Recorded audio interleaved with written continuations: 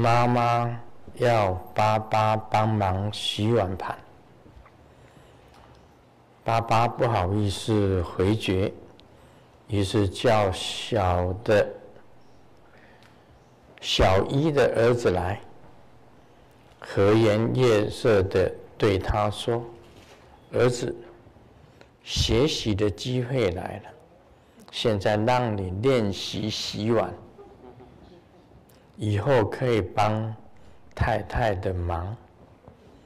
儿子讲：“不必了，以后我可以叫我儿子洗。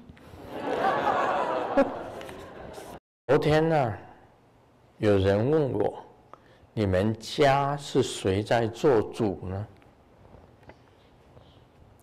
我回答：“我当然是一家之主了，当然是由我做主。”这个人问：“那你太太呢？”我太太少我一点，她是一家之王。听人家讲啊，冬天洗冷水澡对身体很好，那么我就就赏识了一下，果然呢，洗澡前体温是三十六度半，现在的体温是三十九度半。身体温暖了很多。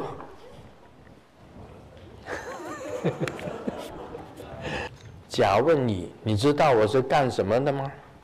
乙呀讲：“当然知道，你是一个政客。”甲说：“哎，猜对了。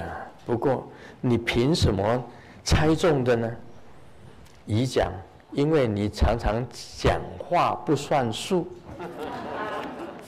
这尾牙哈。尾牙就是我们过年年底的尾牙，喝酒喝多了，在饭店门口呢，跟一只大狗两个人面对面，他瞪着我，我也瞪他，互不相让，就这样互相瞪了一个多小时。这时候饭店的保全啊走出来问：“先生，你跟一只石头的狮子？”你们在干什么？老公对老婆讲：“老公说，老婆，我床底下的皮鞋呢？”